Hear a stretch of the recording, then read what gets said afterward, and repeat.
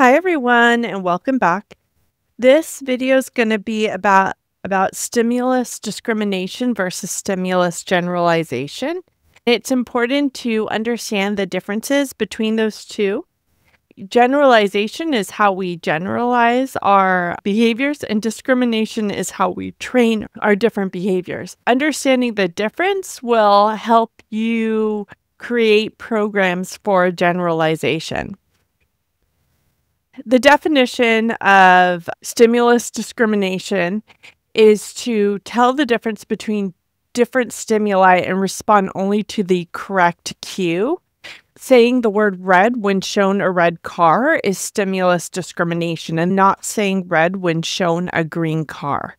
Now, stimulus generalization is responding to stimuli in the same way. So the learner expands their behavior across similar cues and responds to different but stimu- similar stimuli in the same way. So, saying dog for many different breeds of dogs, and both of these skills are really important. The discrimination helps people or learners respond correctly, while generalization helps them apply the skills in real world examples or context. So, what's a stimuli? We've talked about this before. It's anything in the environment that can influence behavior you can break all the stuff that comes before behavior into a couple things. There's our prompts, our antecedents, like our environmental modifications, and then a pro stimuli are both of those. It's a term for all of that. So, examples of stimuli are sounds, words, objects, people, anything within the environment. A discriminative stimuli signals that reinforcement is available if you respond in a certain way, and we call those our SDs. Stimulus discrimination occurs when a learner responds to specific stimuli, and the learner learns to tell the difference between different stimuli. And they respond only to the correct cue. The learner has learned to discriminate the appropriate stimuli. So, and we learned about this. This is what discrimination training is. It's how we do that matching to sample. It's how we do all the reflexivity, transitivity, all those things. We do that through discrimination training. And that's a teaching intervention. It really could fall into differential reinforcement or antecedent. It just depends on how you approach it. But it's how we teach a lot of the skills that we're showing people. We're trying to get our learners to learn. An example of stimulus discrimination is the learner says red when shown a red car and doesn't say red when not shown a red car. If they sh are shown a green car, they don't say the word red. And so the learner follows line up but not sit down. So the learner has learned to respond to the instruction line up and not generalize their response to other instructions like sit down the child answers to their name but not to other names. This is all stimulus discrimination. And there's lots of situations where we need stimulus discrimination and it needs to be we call it how well they discriminate. We have two words for it. It's either very tight or very loose. It's almost like a spectrum. Sometimes we need it to be super tight. Sometimes it can be a little bit loose say the word mom, we probably want that really tight because most people have one mom. There's occasions where someone might have multiple moms. And so in that case, you might want it to be a little bit looser because they can refer to multiple people as mom in an appropriate way. Um, so it's very individualized to the person, like how much discrimination we want, how tight we want that discrimination to be. For colors, like typically we want pretty tight discrimination most people, most, you know, kids, there's an expectation that when they see red, they can say red. When they see green, they can say green. But if you're working with college students in an art class on colors, we might want that a little looser because we might want them to say red for a lot of different shades of red. Stimulus generalization occurs when the learner responds differently to similar stimuli, but in the same way. So, this expands behavior, it allows us to grow our behavior. Key phrases is response to similar cues in the same way. And it's a crucial skill that allows us to generalize. When you've taught a behavior and they respond, they every time this happens, they respond to that behavior correctly. They respond with this behavior correctly. But now we want to generalize it to other texts, to other environments. We start loosening that control. Um, so saying dog when you see a poodle, bulldog, cartoon dog. So dog is a great one because the stimuli that it's appropriate to say the word dog with is so broad. Like calling a tiny white Maltese a dog. I used to have one. She's unfortunately passed, but a Newfoundland looks kind of like a St. Bernard and is typically black, sometimes a little white, and they're huge. They look like a bear. That's also a dog. So I need my learner to see the tiny little poodle say dog and see the giant bear and say dog. They're so different. So you want dog to be extremely loose when you teach it because it's so many different things. And then we get into cartoons and pictures, drawings of dogs, and even those can look a little different. So you want to teach them all those different things as dogs. So you want very loose training on the word dog. But if you're teaching breeds, you want pretty tight training. You don't want them to say Maltese when they see the Newfoundland or say Newfoundland when they see the Maltese. The learner waves hello to mom, teacher, and crossing guard.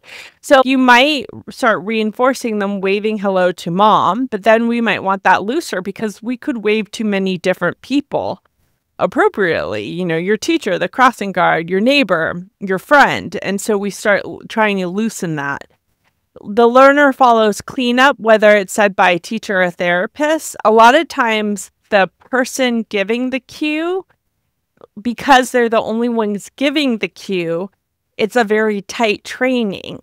But if you have multiple people giving the cue, it will be a looser training. In a lot of directions, we want pretty loose, not too loose, because you know you don't want the older kid who's maybe a little bossy to tell the learner to clean up and they have to clean up every time another kid says it. That would be inappropriate. So you want it kind of loose, but not too loose that anybody can get your learner to do whatever they want. That's always a safety concern that's discussed a lot because we do train compliance so much.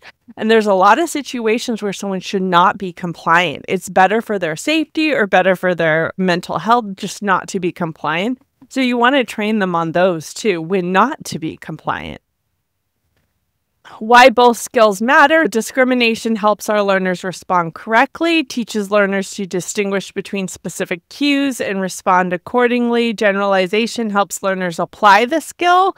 So it, it cues real world situations both are needed. They're both really important for functional, flexible behavior. And there are situations where we need tight discrimination and situations where we need it very loose to move into generalization.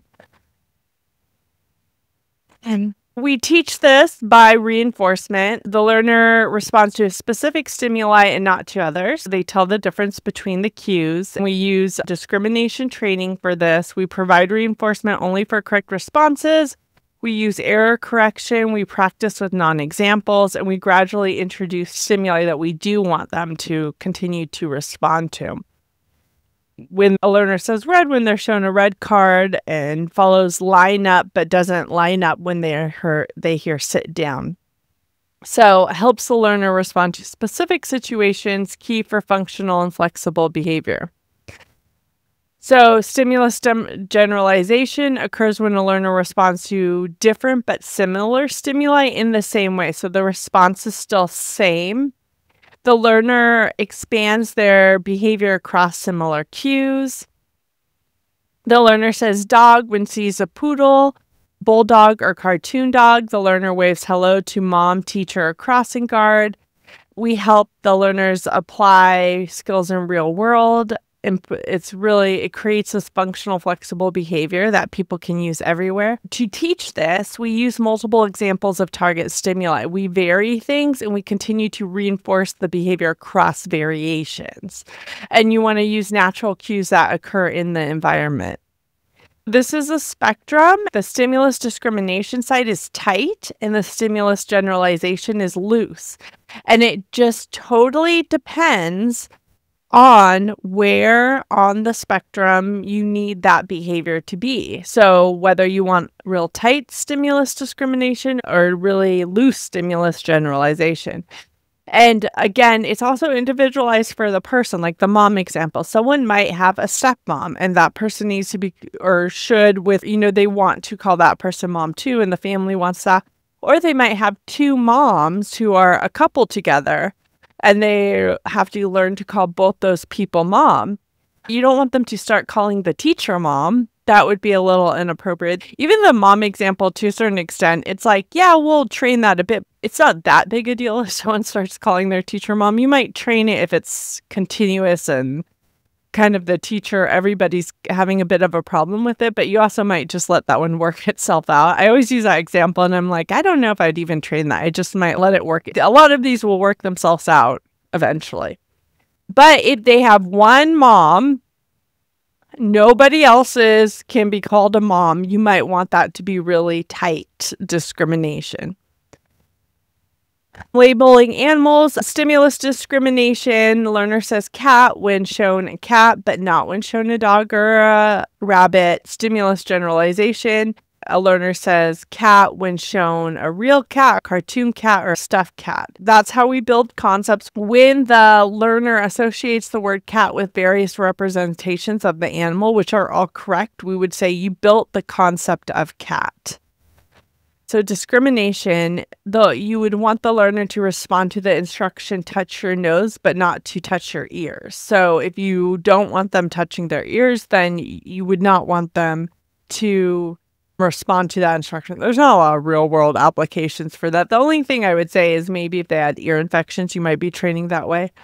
Stimulus generalization the learner touches their nose whether the RBT parent or teacher gives that instruction. The learner answers a specific response blue when asked what color is the sky, but doesn't say blue for what color is the grass the learner answers the same specific response, blue, when asked, what's the color of water? What's the color of the sky? Identifying people. So, child says mom when they see their mom, not other women. The child says mom when they see their mom in person, photos, or videos. That would be generalization. Reading words, the learner says dog correctly, but not dig or dot. A generalization would be the learner reads dog, whether it's written bold script or all caps. So you can see there's ways you might need generalization and discrimination for different stimuli for the same concept or ideas. Coping skills. So learner uses deep breathing only when reminded by a teacher during math. Then the learner uses deep breathing during math, recess, and at home when upset. You can use coping skills to manage their emotions. The learner says thank you when given a snack, but not when given a toy. I'm just giving examples. I don't know that that's a real situation you would train someone in. The learner says thank you when given a snack, toy, or opening the door. Common errors to watch for is overgeneralization. The saying thank you gets overgeneralized a lot that was trained so hard, so strict, that they say thank you multiple times. They're like, thank you, thank you, thank you. Even though I gave them like one, like I gave them a napkin and all you have to do is say thank you. That would be appropriate. They'll say things too much. That's overgeneralization. Another one, this one was so cute. This one, no one trained. It just was reinforced in the environment. But the child said, That's so funny. They kept saying that. And I think people would just laugh at that. They like the laughter. So they started saying, That's so funny if anyone said anything to them. You'd be like, Oh, you know, Molly, let's go get our blocks. That's so funny because it's been reinforced so much. They overgeneralize that themselves. And this stuff can help us train or do therapy, but also describes what's going on in our real world. Failing to generalize, responding only to one specific context instead of across similar situations um, confusing instructions with SD. So, general instructions aren't really considered discriminative stimuli, they're cues for specific responses. And then reinforcing incorrect responses inconsistently. So, not reinforcing consistently. Okay, so discrimination is learner tells the difference between cues, and then generalization is learner expands response to similar cues. And then we're going to use both. It just will depend on what we need for that concept. Uh, and we're going to do this through prompting examples and consistent reinforcement.